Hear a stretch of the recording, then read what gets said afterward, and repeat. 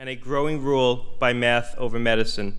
This mindset can be seen in the trade offs that now hamper clinical trials and drug development. FDA imposes increasingly onerous experiments to try to ferret out benefits from new drugs. And FDA reviewers want the results of clinical trials to insulate them from critics, critics who say they're not doing enough about drug safety. But the laborious trials that result come at a very big human cost. Higher degrees of statistical certainty under FDA's outdated way of designing drug trials require longer, larger, and increasingly impractical studies, especially when it comes to drugs targeted to unmet medical needs. Some promising therapies simply aren't being developed. Let me tell you one story of how this mindset impacts patients. Hunter syndrome is part of a family of related and extremely rare disorders. All are inherited. Each robs children of the ability to produce a crucial enzyme that's used by the body to break down certain sugar molecules found in the blood. Missing these enzymes, these molecules end up accumulating in places like the liver and the spleen and the joints, with often painful and debilitating consequences. Before treatment came along, parents had to literally sit idly by and watch as these diseases destroyed their children. But by the 1990s, drugs were developed that could function as replacements for the enzymes that were missing in these related disorders. These disorders were so bad and the drugs were so promising that the first of these medicines, a drug for Gaucher's disease called Ceredase, was approved on the basis of a very simple clinical trial that involved only a dozen patients.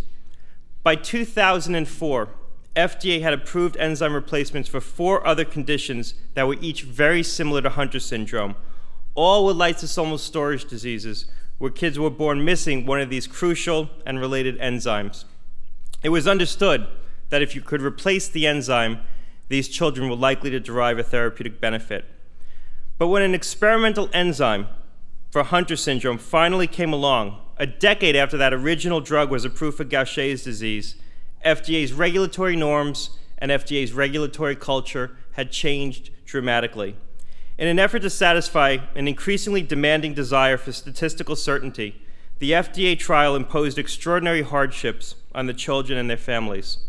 In order to approve the Hunter's drug, called Elaprase, FDA required that the trial enroll 96 patients. This was fully 20% of all the Americans afflicted with the disorder, and instead of testing the drug for six months, as had been done for every other drug, all of these enzyme replacements, FDA wanted a full year of clinical data, 52 weekly infusions in these kids. FDA also insisted that the kids be randomly assigned to receive either a drug or a placebo. There was no need to have a placebo in this clinical trial. The disease follows a very predictable pattern, and doctors already knew the normal decline these kids would have if they were left untreated.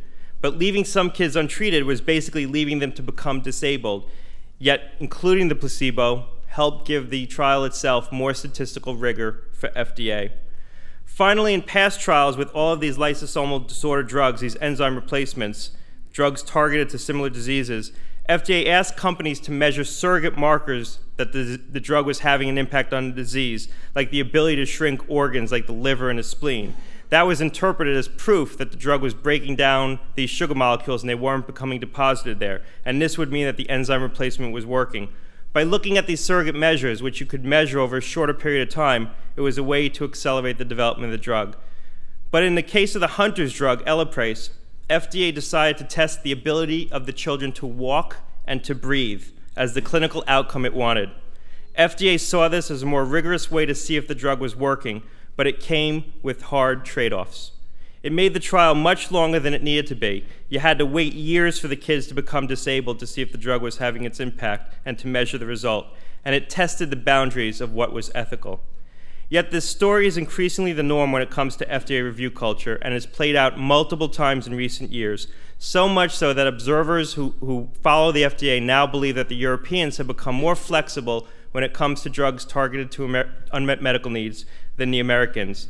The drug Yondelis for bone cancer, the drug pirfenidone for idiopathic pulmonary fibrosis, the drug tafamidis for familial amyloidosis, all rejected by FDA in recent years because, because the statistical results didn't meet the agency's requirements, all approved in Europe, all embraced by European regulators. To understand why FDA's caution is at times hazardous, you have to recognize FDA's growing resolve to make sure the trials supporting drug approval meet an arduous but increasingly outdated standard for proving efficacy. As my debate partner Peter Huber will show, this outdated model that FDA uses exacerbates these problems by making trials much more inefficient than they should be and allowing us to learn far less from the results than we otherwise can. Yet surveys of people with life-threatening disorders continue to show that patients want access to promising drugs sooner. They're willing to tolerate some risk. They're willing to tolerate the uncertainty. For patients with unmet medical needs, what kind of FDA do we want? An FDA that advances care, an FDA that gets new science to patients more quickly. What we can't have is an FDA that's ruled by statistics over medicine. We can't have an FDA that focuses on its present process rather than advancing patient care. Americans deserve a less cautious FDA and an FDA that actively embraces advances in science. Thank you. Thank you, Scott Gottlieb. Our motion is the FDA's caution is hazardous to our health. Our next debater is going to speak against this motion. Ladies and gentlemen, Jerry Avorn is a professor of medicine at Harvard Medical School and chief of the Division of Pharmacoepidemiology and Pharmacoeconomics at Brigham and Women's Hospital. Ladies and gentlemen, Jerry Avorn. Thank you very much.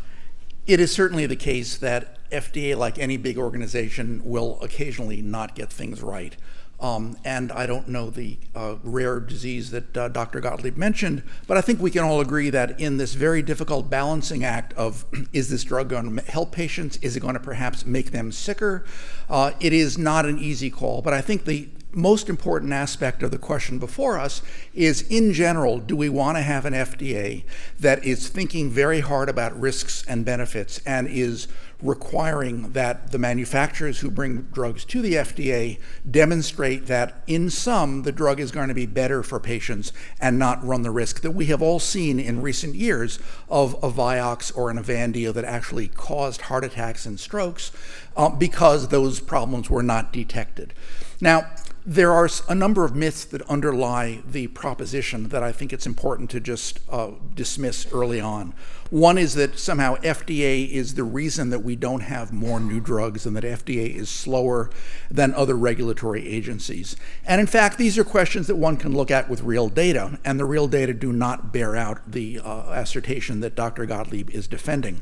There is a very high acceptance rate by FDA of new drugs. In an article in Forbes from last December, uh, it documented that 77% of drugs are approved the first time around, and a very high proportion of the ones where FDA says please go back and find some more information out for us, are then approved the second time around.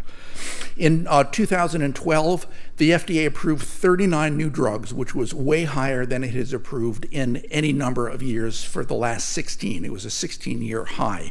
So FDA is indeed saying yes to drugs, and it is doing so at a rapid clip. That's the other myth that we need to um, disabuse ourselves of.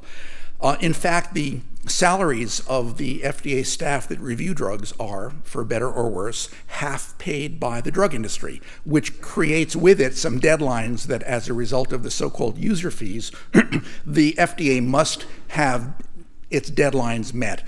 And for a priority drug, which is an important new drug that brings something to the table that we don't already have, um, that is needed by patients, that deadline is six months.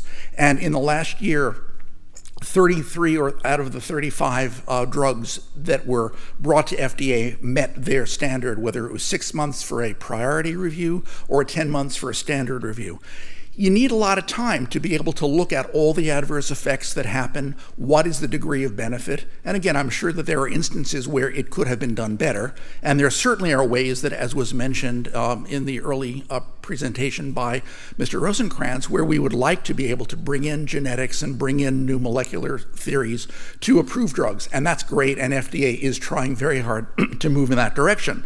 But in fact, FDA is saying yes most of the time. It is approving drugs quickly as per its requirements. And in a paper last year in the New England Journal of Medicine by Dr. Ross and colleagues from Yale, reasonable university, reasonable journal.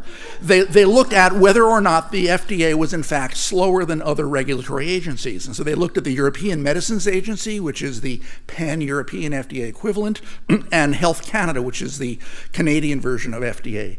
And it found that in fact review times in the US were shorter for FDA than they were for the Europeans and for the Canadians.